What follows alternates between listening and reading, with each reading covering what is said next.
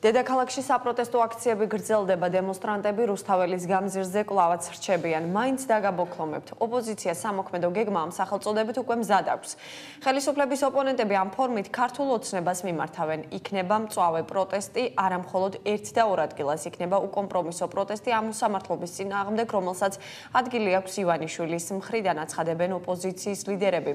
მომიტინგეები ამბობენ, რომ მოთხოვნების შეუსრულებლობის შემთხვევაში ბიძინა ივანიშვილს მისი თითოწყუილი პარლამენტ პარლამენტთან თითო კარვად ექცევა.